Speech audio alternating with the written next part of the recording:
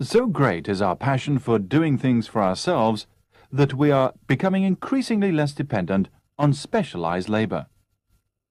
No one can plead ignorance of a subject any longer, for there are countless do-it-yourself publications.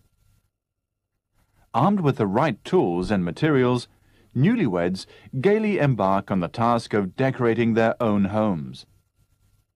Men, particularly, spend hours of their leisure time installing their own fireplaces, laying out their own gardens, building garages, and making furniture. Some really keen enthusiasts go so far as to build their own computers. Shops cater for the do-it-yourself craze not only by running special advisory services for novices, but by offering consumers bits and pieces which they can assemble at home.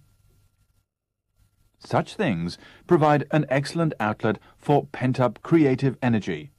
But unfortunately, not all of us are born handymen. Some wives tend to believe that their husbands are infinitely resourceful and can fix anything. Even men who can hardly drive a nail in straight are supposed to be born electricians, carpenters, plumbers, and mechanics. When lights fuse, furniture gets rickety, pipes get clogged, or vacuum cleaners fail to operate, some women assume that their husbands will somehow put things right. The worst thing about the do-it-yourself game is that sometimes even men live under the delusion that they can do anything even when they have repeatedly been proved wrong. It is a question of pride as much as anything else. Last spring, my wife suggested that I call in a man to look at our lawnmower. It had broken down the previous summer, and though I promised to repair it, I had never got round to it. I would not hear of the suggestion and said that I would fix it myself.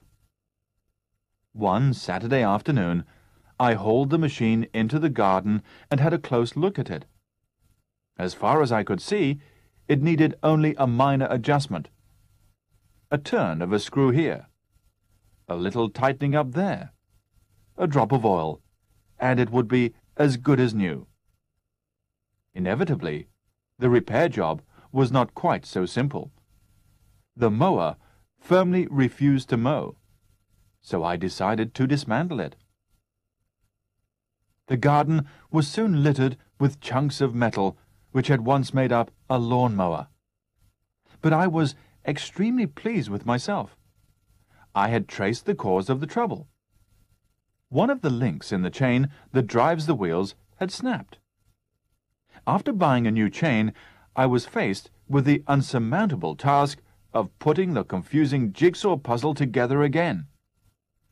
I was not surprised to find that the machine still refused to work after I had reassembled it, for the simple reason that I was left with several curiously shaped bits of metal which did not seem to fit anywhere.